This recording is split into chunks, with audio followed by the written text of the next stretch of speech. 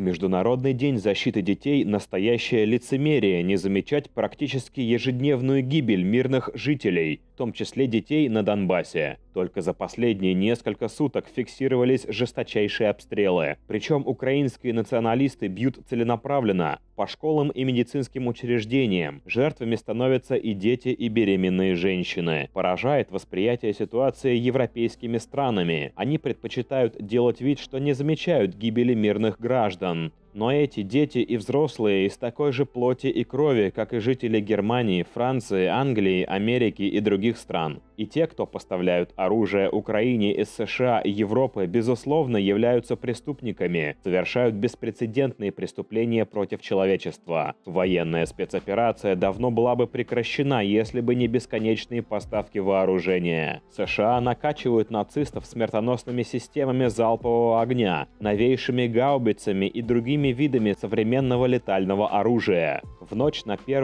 июня на стены здания посольства США в Москве спроецировали видео, в котором утверждается, что американские военные несут полную ответственность за всех погибших детей Донбасса. Днем активисты вышли с плакатами, чтобы напомнить мировому сообществу, что Белый дом на протяжении многих лет спонсирует украинские власти. Но почему акция прошла только в России? Остальные страны остаются безучастными к трагедиям. В этой ситуации есть преступники и соучастники.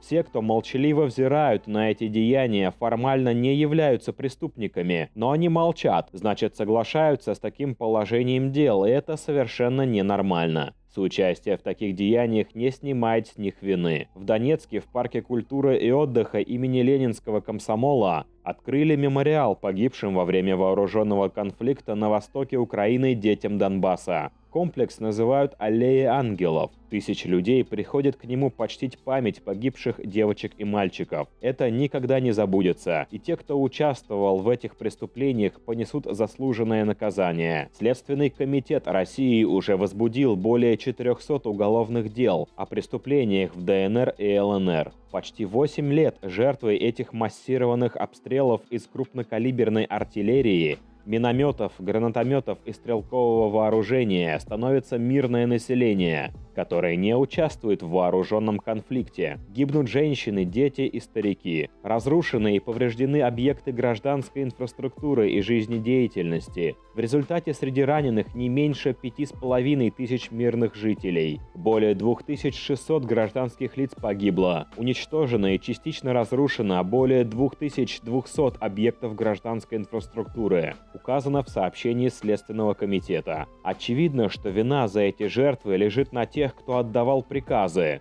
и кто их выполнял на тех, кто затягивает военные действия, прежде всего на президенте Зеленском. Но самый главный преступник – это президент США Джозеф Байден и его советники которые являются центром принятия решений и на сегодняшний день теми людьми, от которых исходит это зло. При этом российские солдаты и офицеры своими действиями не только предотвращают нацистский передел мира и Третью мировую войну, но и ежедневно защищают жизни детей и взрослых, дают надежду на то, что мирная и спокойная жизнь наконец-то придет в Донецк и Луганск, Херсон и Мариуполь. Освободившись от нацистов, Украина сможет самостоятельно развиваться и поддерживать нормальные отношения со всем миром, в том числе и с Россией.